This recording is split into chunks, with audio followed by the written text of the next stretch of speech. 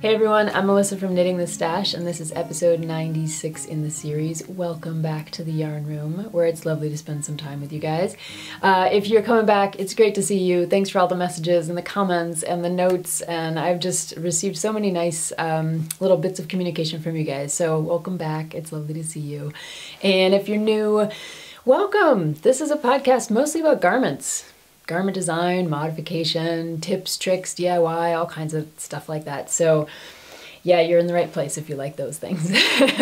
uh, so most of you guys who are coming back know I'm a professor at the university here in Urbana, Illinois, and I teach speculative fiction and science fiction and science studies and all that kind of stuff. And the semester has been going very well. I, my students are great, and um, things are rolling along. And the yarn room has worked out as a classroom. So it feels weird to me still to see this kind of like blank background here um, when I'm filming because it used to have my yarn back there and all kinds of other stuff when my yarn room had to be switched over to a classroom kind of ad hoc last spring.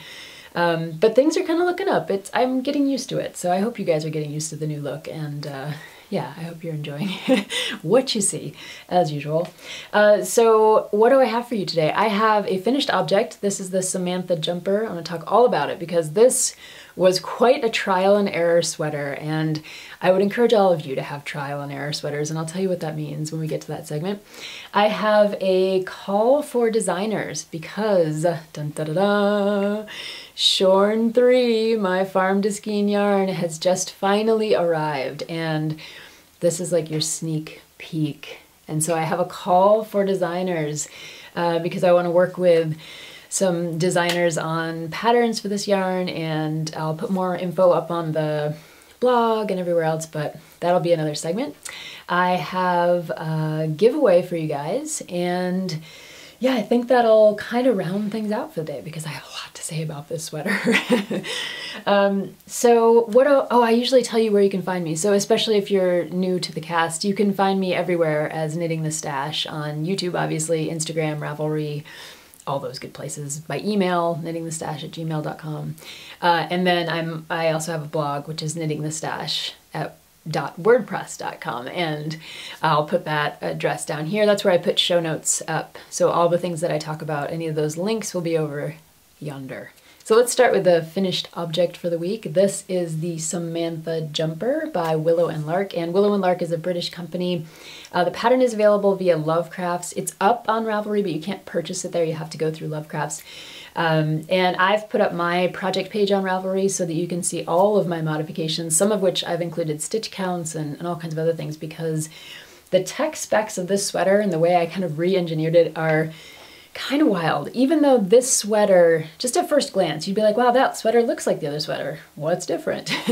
but a lot of the modifications kind of came on the back end in terms of like how I did what I did and why I did it. Um, so I'll go through some of those.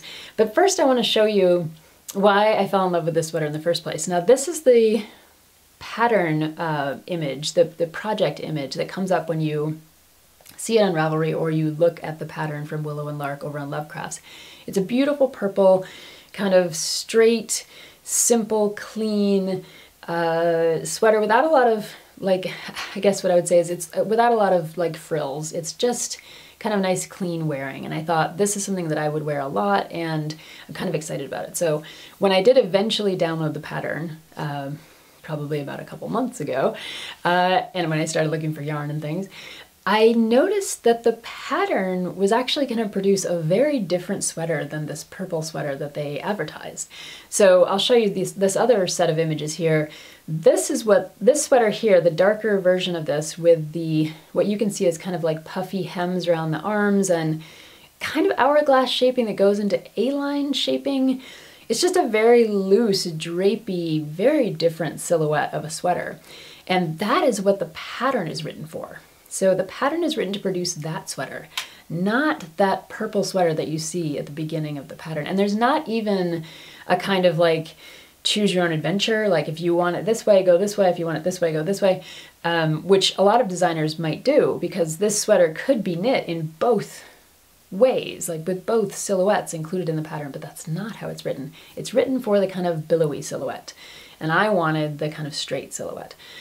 So I reverse engineered the pattern, and that's what I'm here to tell you about today. It's a kind of trial and error sweater. Normally, when I modify patterns, I uh, sit down and do all the math ahead of time, at least up through the armholes, you know, maybe not the neckline until I get there, but yeah, usually do the math ahead of time because you want to know where you're going and how you're going to modify things and how your later decisions are going to affect your earlier decisions and all that kind of stuff. But with this one, I was I had just been listening to Albina of LB Hand Knits, and she talks about a kind of growing up with this kind of vernacular knitting knowledge where you, you kind of knit sweaters without patterns. You just kind of go with what you know is going to work and um, you know, you make some changes along the way. And I thought, you know, I'm tired. the day job has taken a little bit of my brain power. Maybe I'll just try a little bit of that. Like let it just let it go a little bit and know that I've knit enough sweaters to be able to figure this out. Well, that was both good and bad because uh, there were some things about this sweater that definitely could have used a little bit of forethought. So it was definitely a little trial and error.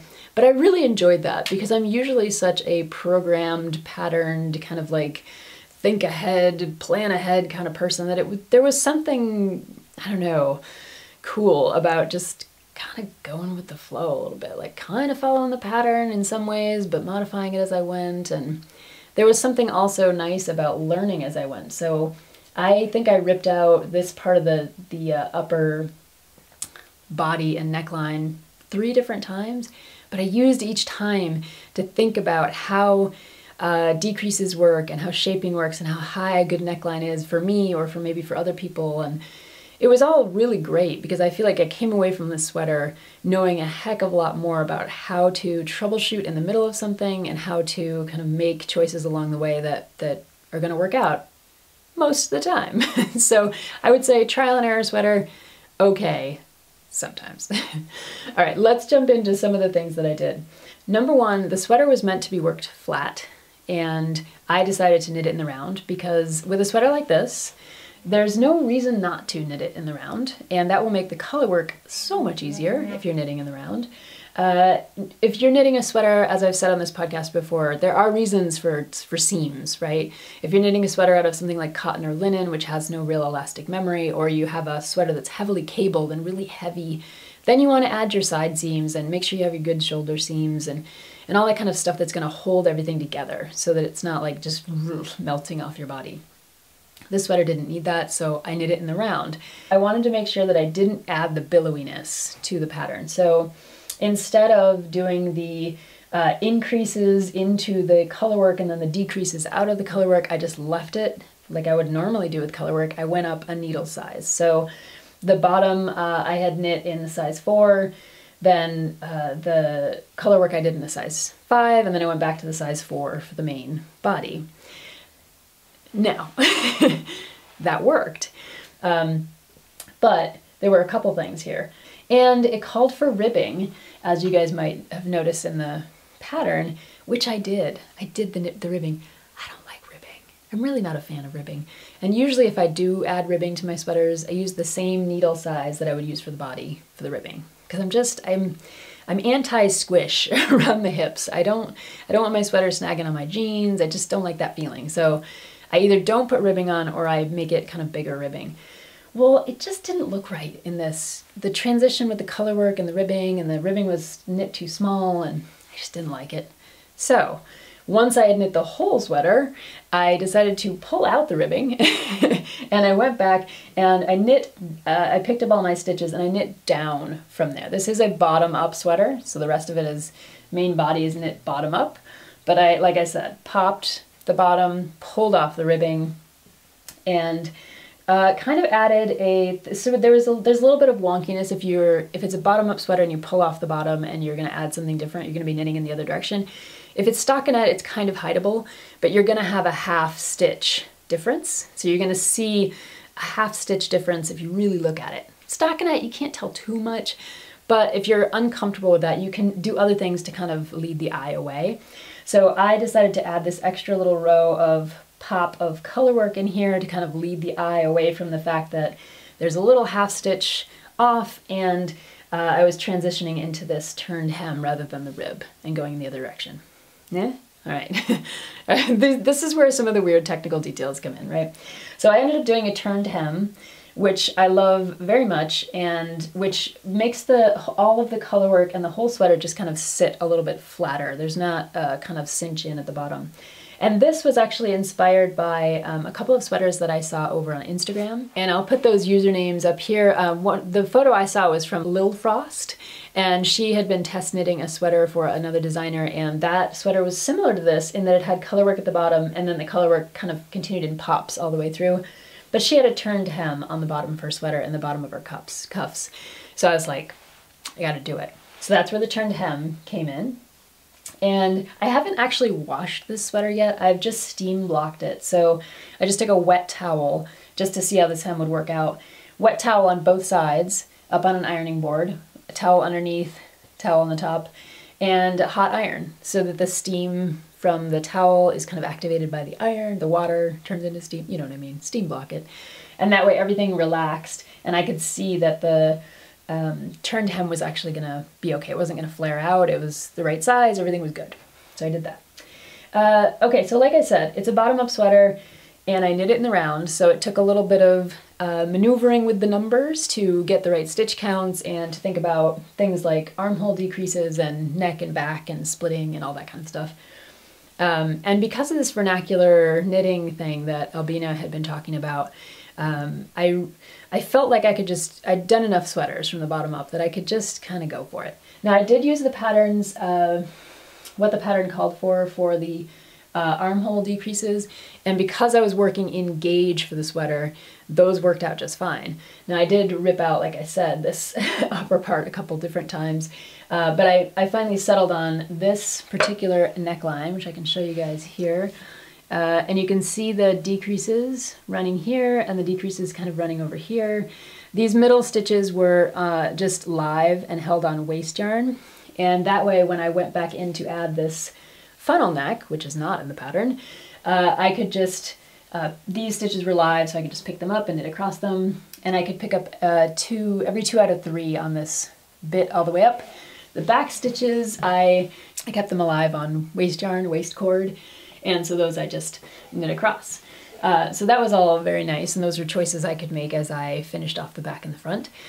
Other things I did. so I added, uh, like I said, I added the funnel neck here with a turned hem at the top and the hem is hollow so and it has a couple little buttonholes here and here so just like those sweaters that I knit for my dad and Spencer and uh, my son they're the chimney sweater they all have a neckline that's a little bit like this with the little buttonhole so you can add an I-cord, which I might do. Like I haven't decided yet because it sits just fine without the I-cord and you don't really notice it, but I might add the I-cord.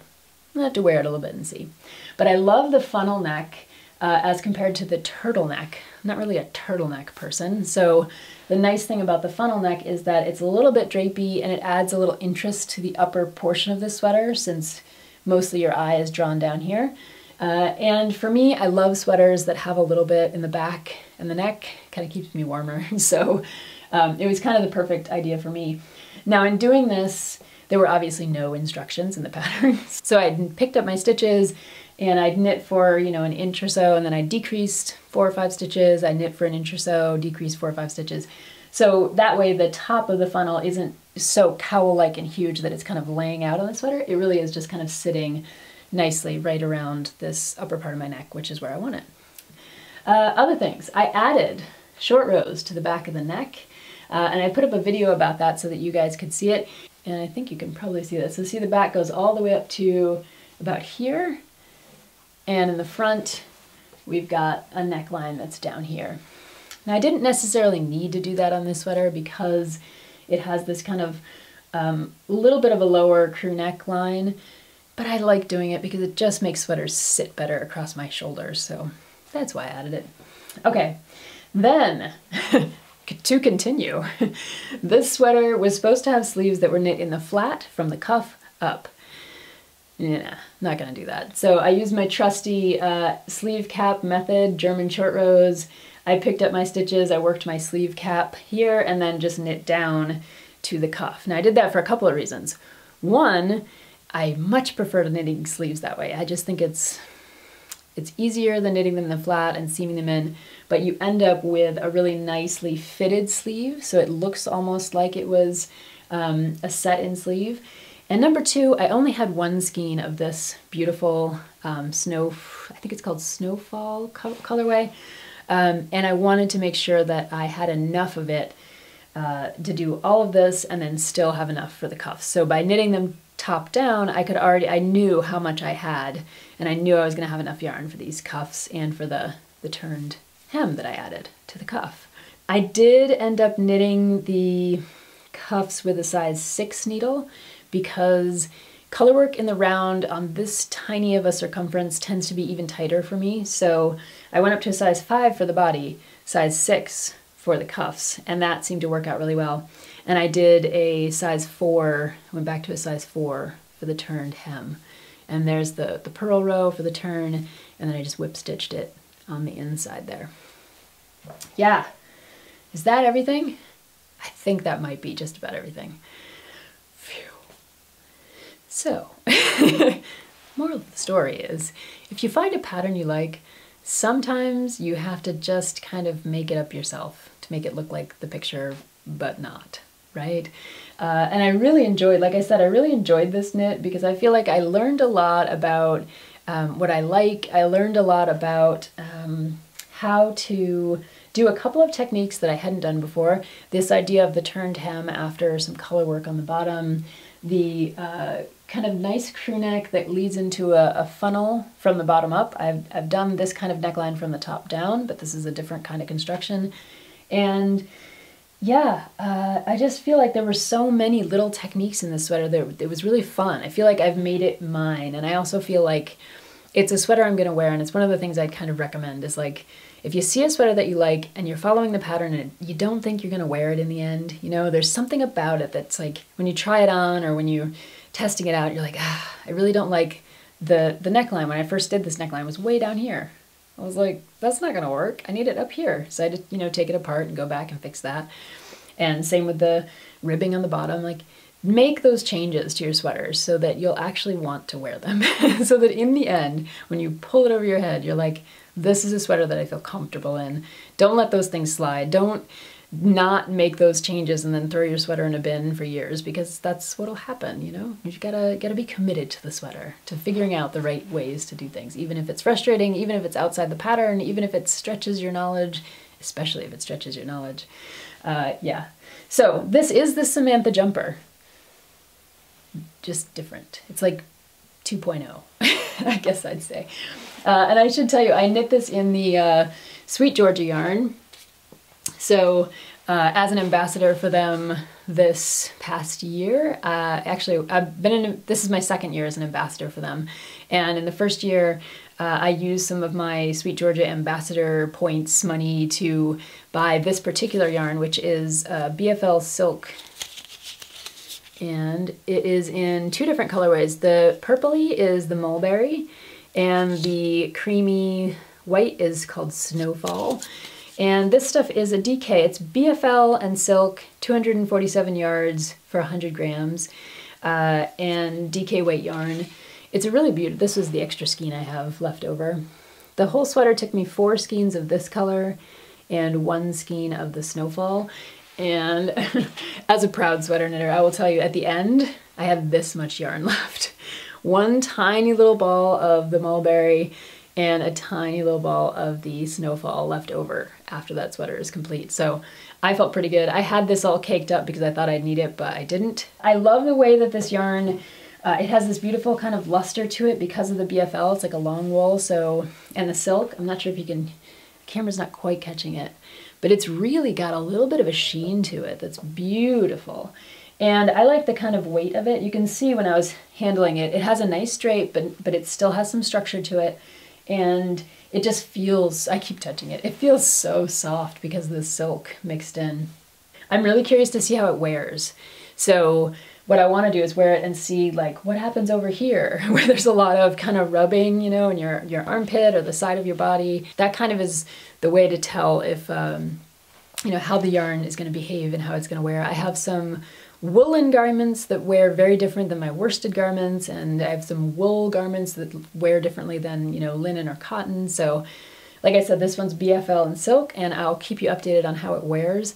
I think it's going to be pretty pretty great because the long wool is going to have strength and so will the silk actually.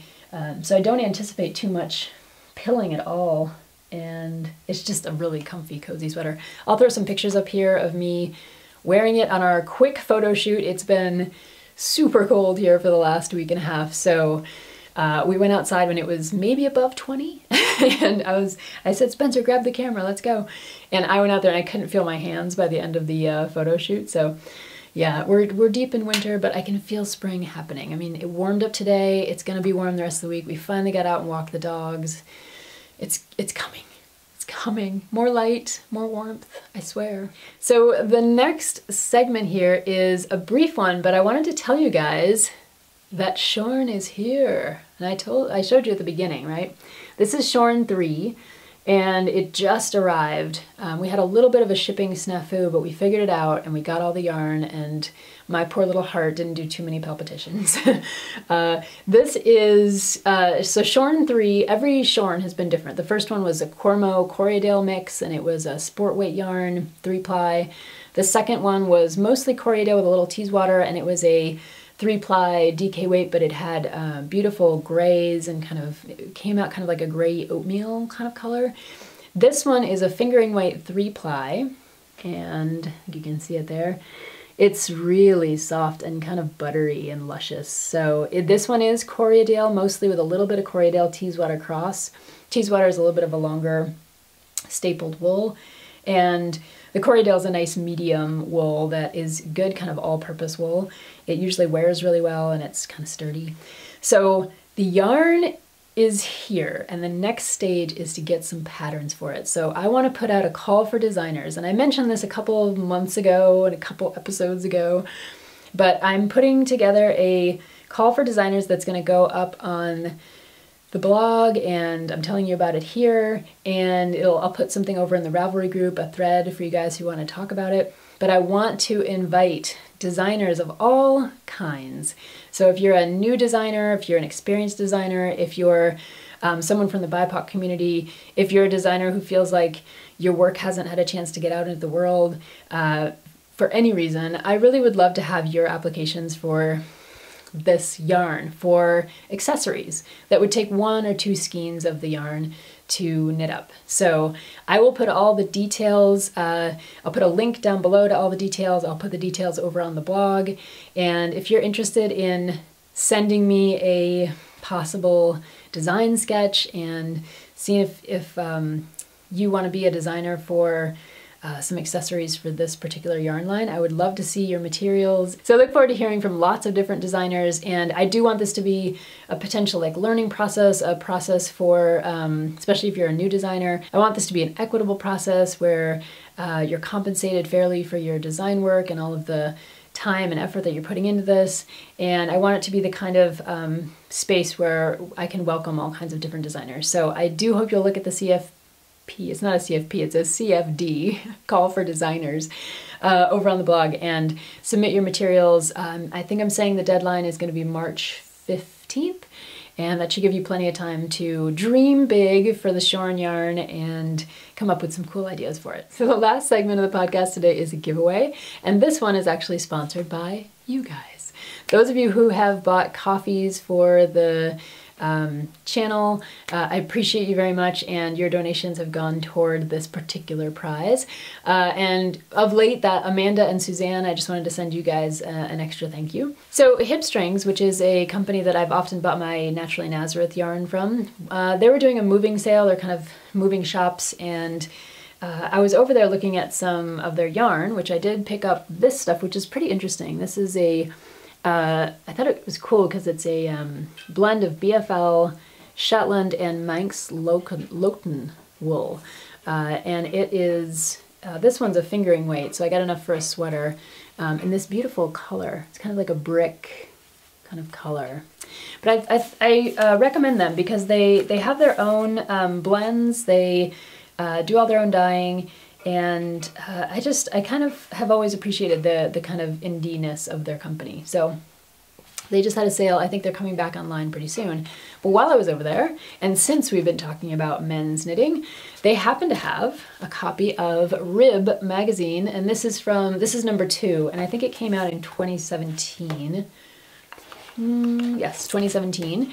And I picked up a copy and I want to give it away to you guys, to one of you guys. So this one has designs from I believe six or seven different designers, and we've been talking about men's knitwear on here quite a bit of late, and uh, it just seemed like the, the cool thing to talk about and to give away. So there's this guy, which is a beautiful um, kind of cabled um, pullover. There's some socks in here. There's another cool kind of sweater thing going on there. There's a cabled sweater. This um, issue is called Navigate, and it's kind of about, uh, you know, nautical themes and things. There's a really nice shawl collar sweater for guys. There's also some socks in here, which are pretty beautiful.